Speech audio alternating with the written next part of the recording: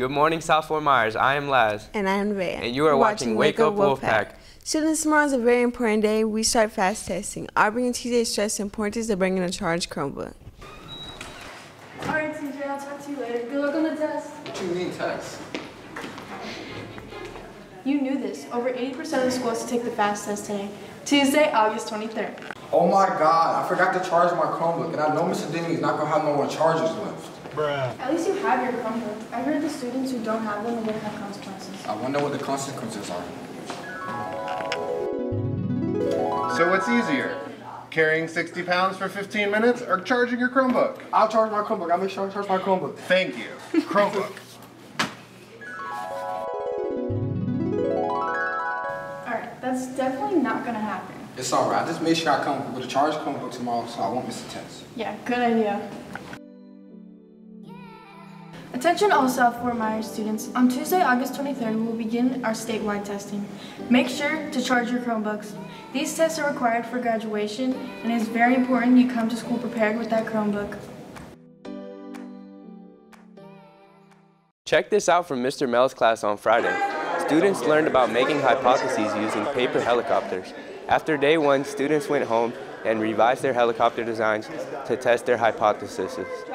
Lewis caught up with Mr. Mel to talk about the hands-on learning assignment.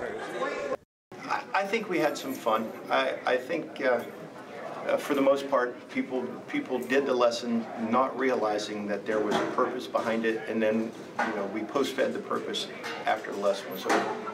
And what was the purpose of it? We were exploring the scientific method. Uh, it, it, was an inquiry-based uh, approach to discover uh, what the scientific method was. Great job, Mr. Mel. This upcoming Friday is going to be South's first pep rally in the last two years. This is to get everyone hyped for our first regular home season football game.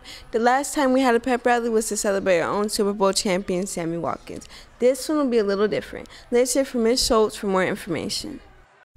We're so excited for the pep rally uh, this week. You need to make sure you wear a red shirt, a black shirt, or a South shirt to be able to participate in the game.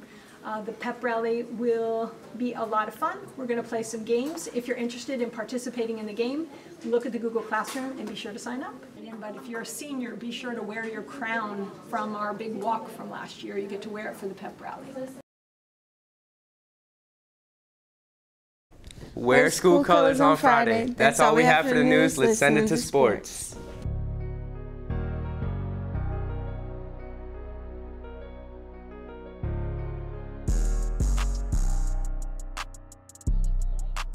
Oh,